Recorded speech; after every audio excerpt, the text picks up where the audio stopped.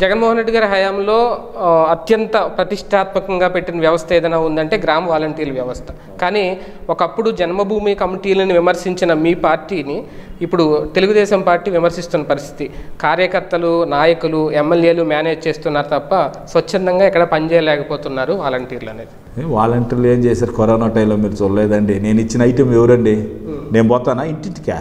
నేను ఉత్త మాటలు ఎందుకు? ఎవరు పోయినారు ఇంటింటికే? చంద్రబాబు నాయుడుకు కార్యకర్తలు పోయినారా? మా పార్టీ కార్యకర్తలు పోయినా అన్ని అబద్ధాలండి. వాలంటీర్లు లేకుంటే మేము కనీసం ట్యాబ్లెట్లు పంపించలేము ఇంటింటికి చికెన్ పంపించడం బియ్యం పంపించడం ఇంటింటికి ఏ వస్తువు పంపించ వాలంటీర్లు కరెక్ట్ అండి. వాళ్ళు తప్పు చేశారా? చెప్పండి. యాక్షన్ తీసుకుంటారు మీలాగా అది పనిచేసేవాళ్ళు. నీకు నీ కార్యకర్తలు. జగన్మోహన్ రెడ్డి గారి కార్యకర్తలకి ఇలా. జాబులు ఇచ్చినా కానీ ఏమి ఇచ్చినా కానీ మన చూసి ఎవరైతే పనిచే ఈరోజు best in the world volunteer వ్యవస్థ ఈ వాలంటీర్ వ్యవస్థ లేకుండా కరోనా కంట్రోల్ లేకుండా పోయింది. కంట్రోల్ అంటే అట్ట వస్తువు ఇచ్చి మాస్క్ ఇచ్చేదానికి కూడా మనిషి లేకుండా పోయినారు. అర్థం కాలన్నా? గవర్నమెంట్ ఇచ్చే పథకాలు ఎత్తుకుని ఇచ్చేదానికి కాలేకపోయినారు. వాలంటీర్ని బట్టి ఎన్ని జరుగుతూ ఉన్నాయి? సార్ అసలు అసలు ఆ మా అటు మాట్లాడంతా పిచ్చోడే.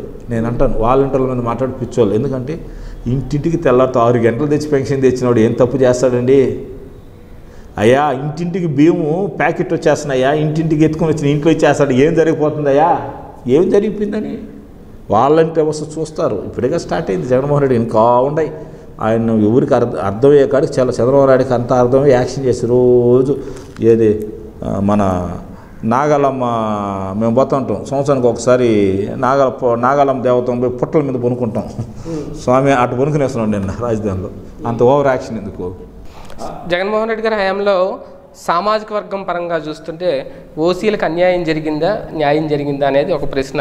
మీ కాళహస్తి నియోజకవర్గంలో కూడా మీరు కేటాయించే పనుల్లో కూడా ఎస్సీలకే బీసీలకే మీరు పెద్దపీట వేసిన సందర్భం. ఓసీలకి ఎనిమిది శాతం మాత్రమే పనులు అప్పగిస్తున్నారు అనేది.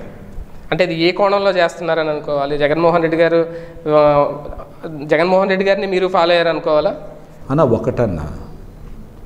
ముప్పై సంవత్సరాలు అందరం బాగున్నామన్నా ఇంకా కూడా పేదోడు ముందుకు రాకూడదన్న తెలుగుదేశం గవర్నమెంట్లో మూడు కుటుంబాలు ఉన్నాయి ఒక మండలంలో వాళ్ళు ఎత్తుకునేదన్నా అట్టా ముందు గవర్నమెంట్లో కూడా అట్నే ఉన్నాయన్న ఇప్పుడు జగన్మోహన్ రెడ్డి వచ్చినంత ఆయన చూసి మేము కూడా నేర్చుకున్నామన్న భయం అన్న మాకు. చేయకపోతే మమ్మల్ని రేపు టెక్టేడ్ అన్న. భయంతో అందరికీ ఆయన ఏం సూత్రాలు పోతే అదే సూత్రం పోతున్నాం అంతే అన్న. ఇంకేమీ లేదు దీంట్లో. అందువల్ల ఎస్సీ ఎస్టీ బీసీలకే ప్రాముఖ్యత ఇస్తాం. అన్నీ చేయమని. కాబట్టి దాంట్లో మాట్లాడడం ఉంటారు. దాన్ని మనం ఏం చేయలేం. అన్నీ కూడా అందరూ సమానం చూసేప్పుడు ఒక తండ్రికి ముగ్గురు బిడ్డలు ఉంటేనే ఒకరిని చూస్తే ఒకరు కంప్లీట్ చెప్తా ఉంటారు. ఇదంతా చిన్న చిన్న జరుగుతూ ఉంటాయి. మేము అన్ని అడ్జస్ట్ చేసుకుని పోతూ ఉంటాం.